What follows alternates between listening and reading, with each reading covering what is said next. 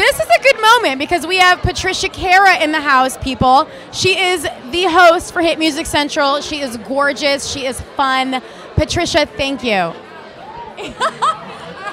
She's been drinking. I think you got that when I did that, right? So, Patricia, tell us a little bit about yourself and what brought you to doing this show. I'm very excited to be here. This is a pretty big night. Hit Music Central.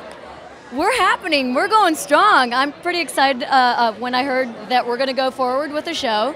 And um, Mark Hill is a great guy. He brought me on board, and Billy Frank, which is part of production, he's one of the producers. And um, yeah, it's just great to be here and support and co-host, and I'm looking forward to more. I, this has been in the works for a while, so this is a pretty special night. We're all celebrating this evening. I love what you're wearing, darling. It's very chic, as always. So are you. Thank you. Off camera, but I'll say it again. Green does her well. Thank you. Thank you.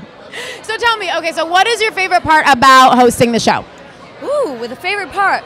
I get to see all the bands perform, which is pretty cool. I don't get to vote, which I should be able to vote, but I don't know if I really should I be able to vote.